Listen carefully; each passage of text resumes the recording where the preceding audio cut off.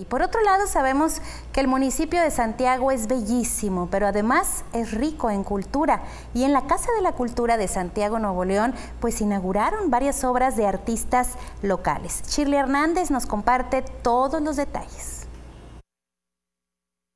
En la Casa de la Cultura de Santiago se inauguró la exposición denominada Encuentros al Sur de los artistas Yolanda Marroquín, Javier Zarazúa, José Guerrero y Joel Alanís Dicha exposición muestra cuadros con un toque de arte constructivista, minimalista y abstracto, destacó el pintor y escultor Joel Alanís. La gente que visite esta exposición va a tener a, su disposición eh, lo que se está realizando hoy en día en Santiago, lo que se está realizando hoy en día en, en, esta parte del noreste del país y creo yo que es una muy buena representación de lo que es el arte actual. Asimismo, en la inauguración estuvo presente el alcalde de Santiago, Jorge Flores Tamés. Han hecho posible que se hagan este tipo de exposiciones que, como bien mencionabas ahorita, vienen a embellecer lo que es la Casa de la Cultura.